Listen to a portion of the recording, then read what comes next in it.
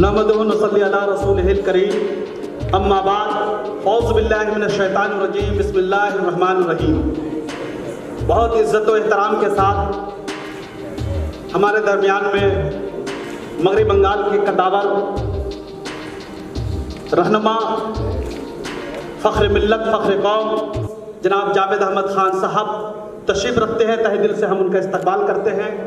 पूरी दुनिया में जानी पहचानी जाने वाली शख्सियत आप हम अगर कहीं चले जाते हैं, अपने गाँव एक शहर से के दूसरे शहर में जाते हैं तो शायद मुझे वहाँ नहीं पहचानता है। एक स्टेट छोड़ के दूसरे स्टेट में जाते हैं तो हमें वही नहीं पहचानता है। मगर दुनिया जिसको पहचानती है, उस पहचानने वाली शख्सियत का नाम सैयद मुशतबा हुसैन किरमानी साहब है। एक बार जोरदार तालियों के साथ मुशतबा हुसैन किरमानी साहब का शहर अनुसार मगरब बंगाल में हम उनका वेलकम और इस्तकबाल करते हैं। कई बरसहा बरस से जिन्होंने कमोबेश तीस चालीस साल, पचास साल से अदाकारी दुनिया में अपना लोहा मनवाया है। बम्बई से चल करके शहर निशात में जनाब अली खान साहब आए हैं। हम उनका भी एक बार ज़ोरदार तालियों के साथ अली खान साहब का इस्तकबाल करते हैं। और हमारे दरमियान में कलकत्ता के मशहूर मरूफ बिल्डर, प्रमोटर, आप जानते हैं कलीम ग्रुप के चेयरमैन जनाब आज़ाद तनवीर कलीम साहब भी तशरीफ़ रखते हैं। ये ताइकॉन है। हम उनका भी इस्तकबाल करते हैं।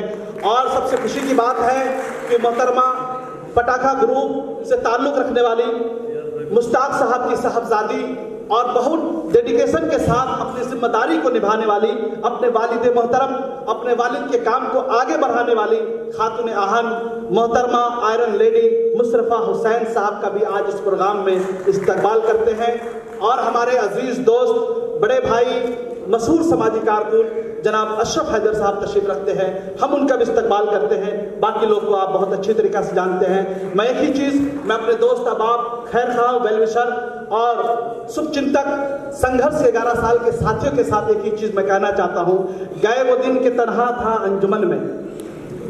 गए वो दिन के तनहा था अंजुमन में, यहाँ अब मेरे राजदार और भी है। अब यहाँ मेरे राजदार और भी है।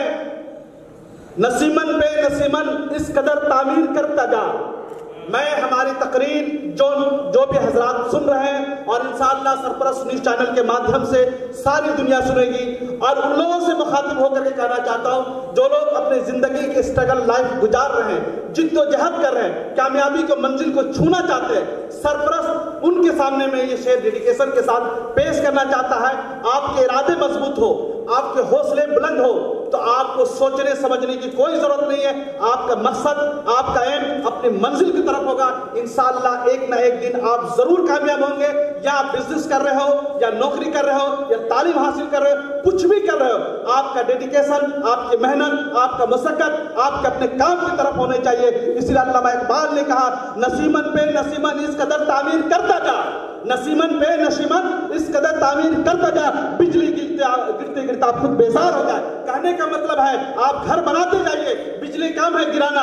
एक दिन आज ही ला करके बिजली आपके घर पर गिराना छोड़ देगी, मगर इंशाल्लाह आपकी कामयाबी कदम चूमेगी। मैं कहाँ रुकता हूँ सफर्स की आवाज़ से? मैं कहा रुकता हूँ अर्श फर्श की आवाज़ से? मुझको जाना है बहुत ऊँचा हद परवाज से। आपके सामने में, आपकी ज़िंदगी में गोल होने चाहिए। लक्ष्य होनी चाहिए एम होनी चाहिए एम्बिशन होनी चाहिए। आपको जाना कहाँ है, करना क्या है, आप अपने सामने में, सैयद किरमानी साहब को रख लीजिए। आप अपने सामने में, जावेद अहमद खान साहब को रखिए।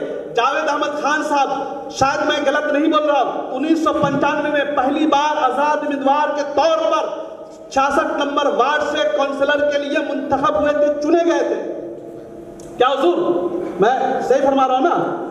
उन्नीस सौ पंचानवे का वो दिन अगर वो दिन वो हार मान लिए होते, अगर वो दिन लड़ाई नहीं करते तो आज वो मिनिस्टर नहीं होते। और मगरब बंगाल के सबसे कदावर मिनिस्टर के तौर पर जाना जाता है। तो मेरे कहने का मतलब यह है, अगर आप कहीं भी कामयाबी चाहते हैं, कुछ भी हासिल करना चाहते हैं सक्सेस चाहते हैं तो आपको अपने काम में ईमानदारी के साथ ऑनेस्टी के साथ लगे रहना पड़ेगा। इसलिए मैं कहता हूँ, अल्लाह इकबाल के समान में मैं कहा अर्श फर्श की आवाज़ से मुझको जाना है।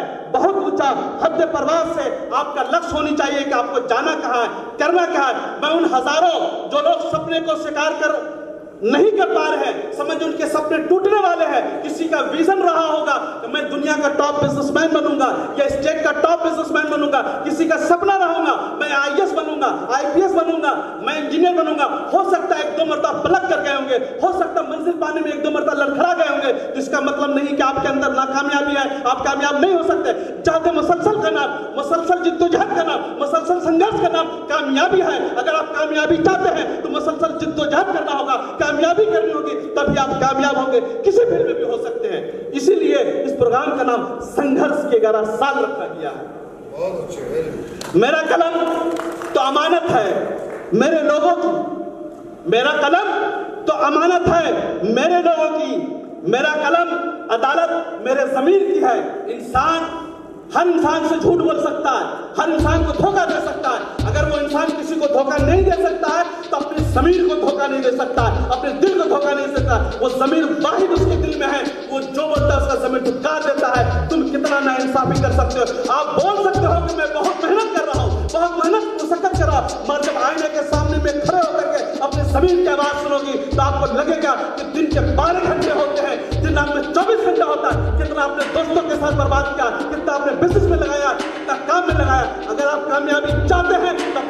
आवाज़ सुनना पड़ेगा तभी आप कामयाब हो सकते